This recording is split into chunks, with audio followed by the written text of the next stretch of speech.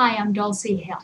Today I want to talk about the healing properties of magnesium. And particularly, I've been experimenting with this uh, to promote sleep and to help me from spastic uh, muscles at night, cramps, and just uh, to be calm.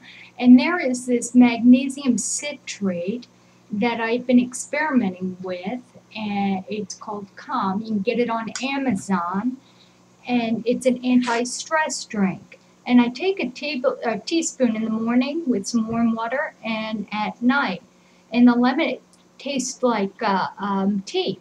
It's very good, actually. It tastes better than tea as far as I'm concerned. Um, and if you take pain medication, it'll help you go to the bathroom in the morning, if you know what I mean.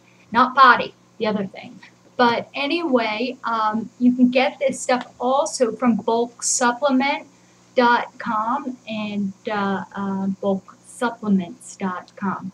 And uh, the magnesium citrate is just wonderful. It, I'm actually getting off trazodone now. I'm trying to stop some of these medications um, on, and uh, this is really working. Anyway, um, I'll keep you in the loop. God bless you. Please subscribe. I have. Uh, uh, I'm also a co-administrator of MS Frontiers on uh, Facebook, and there's a web page, uh, MS Frontiers, as well. Anyway, thank you. Please subscribe. God bless you, and have a nice day.